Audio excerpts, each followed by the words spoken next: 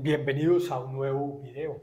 Generalización del teorema de Pitágoras. Cuadrados del lado opuesto a un ángulo agudo en un triángulo. Hipótesis. Nos dan esta figura del triángulo ABC. ¿sí? El ángulo en A es menor de 90 grados, es decir, agudo. Y la proyección DB sobre el lado C, recordemos que la proyección cae perpendicular, entonces es el segmento AD. Tesis, lo que vamos a demostrar, que un lado al cuadrado,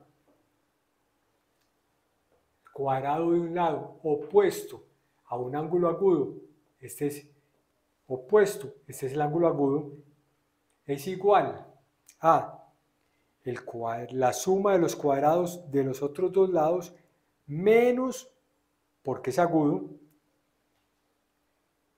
el doble producto de un lado por la proyección.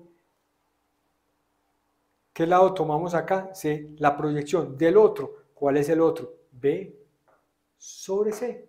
¿Y cuál es esa proyección? AD, segmento. Entonces, vamos a decir lo siguiente. Primero, reafirmar la hipótesis, es decir, tener en cuenta toda esta situación.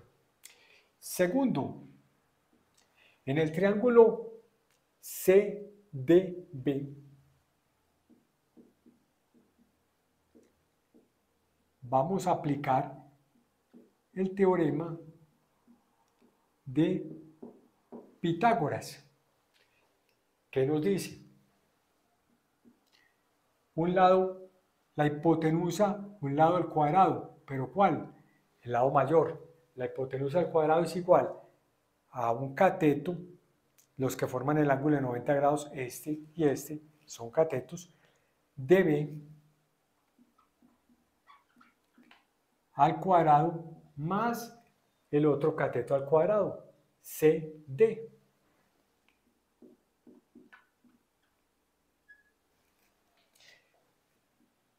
Tercero, este triángulo ADC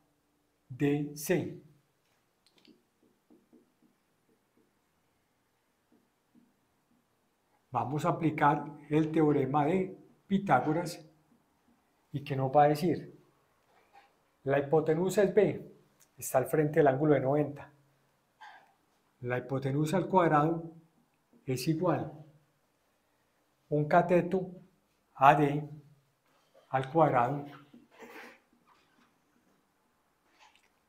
más el otro cateto al cuadrado DC o CD. ¿Sí? Ya tenemos teorema de Pitágoras en el triángulo del lado derecho y en el del lado izquierdo. ¿Sí?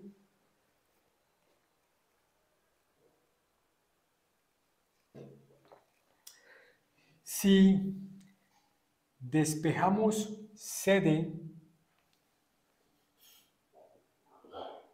en 3, ¿qué vamos a hacer? Vamos a despejar CD, quedaría La B que está haciendo en el lado izquierdo conserva la posición, lo paso igual, y este AD al cuadrado lo transponemos, quedaría de esta manera. CD está positivo en el lado derecho, conserva la derecha. ¿sí? ¿Por qué hicimos esa situación? Porque si analizamos la el punto 2, tenemos al cuadrado de no la tenemos y CD tampoco. Eh, este punto es donde necesitamos llegar. En el punto 3, B al cuadrado lo tenemos, AD lo tenemos y CD no lo tenemos. Entonces la idea es encontrar CD en términos de AD, ¿cierto? 5. Eh,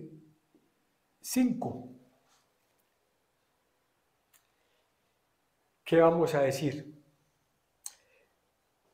AD, conocido,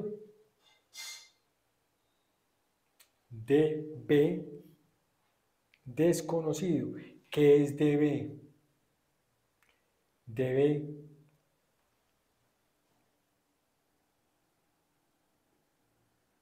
DB, ¿cómo lo podemos escribir? Como todo este lado que es menos este trayecto que es AD.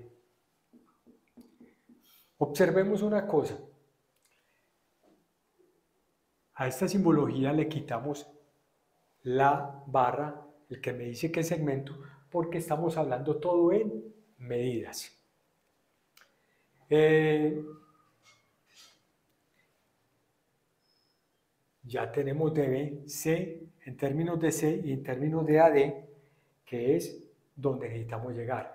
Entonces digamos que esta es la ecuación 4 asterisco y esta llamémosla 5 asterisco.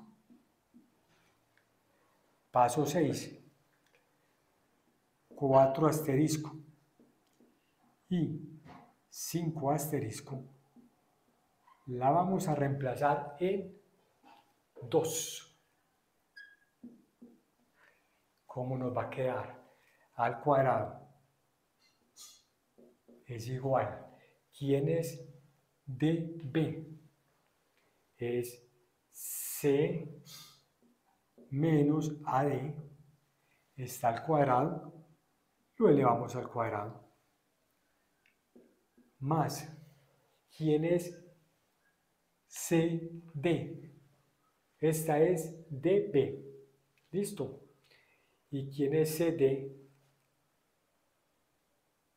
Es B al cuadrado menos AD al cuadrado. Esta si no tenemos que elevarla al cuadrado porque ya la tenemos al cuadrado. Entonces, si analizamos lo siguiente, tenemos A al cuadrado, tenemos C, tenemos AD, B y tenemos AD, que es la información que vamos a tener aquí. Vamos a organizarla. A al cuadrado es igual. El binomio de Newton con n igual a 2, el primero al cuadrado menos dos veces el primero por el segundo que es AD más el segundo al cuadrado.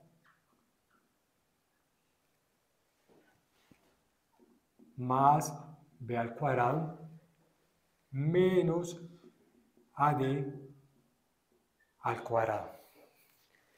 Ya resuelto este binomio de Newton, desarmada esa expresión, vamos a visualizar qué tenemos. Tenemos eh, AD al cuadrado y AD al cuadrado más y menos coeficiente 1. Cancelamos esta y nos va a quedar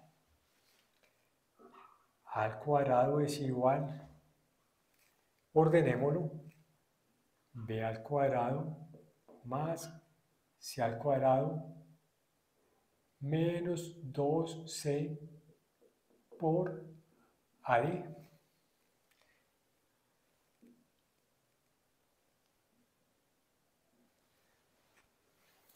Si comparamos con la hipótesis, es la misma información. Eh, esto lo podemos dejar como medida, ya lo podemos dejar como medida o lo podemos dejar como segmento con la barra. Espero que te haya quedado claro. Suscríbete, comparte la información. Hasta la próxima.